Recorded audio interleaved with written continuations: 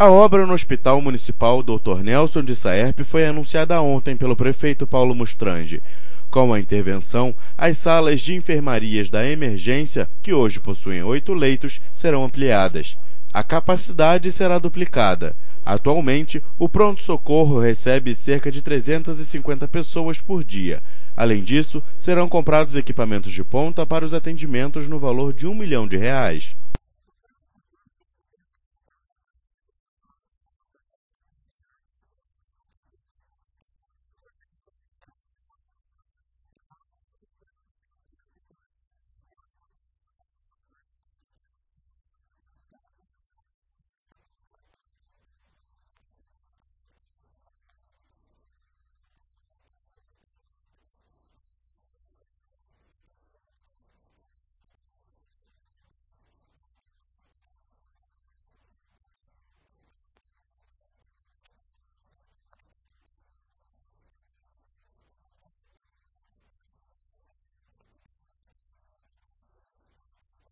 Mas a reforma não fica apenas na ampliação. As salas serão climatizadas e toda a rede de gases, como oxigênio, ar comprimido e a vácuo, serão trocados.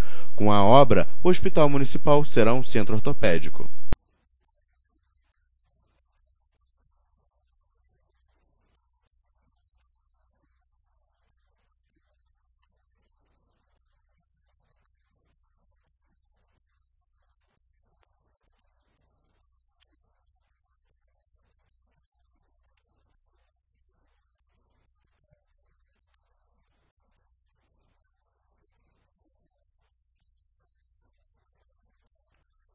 O jardim que fica em frente ao hospital vai dar lugar às novas enfermarias, chegando a 16 salas.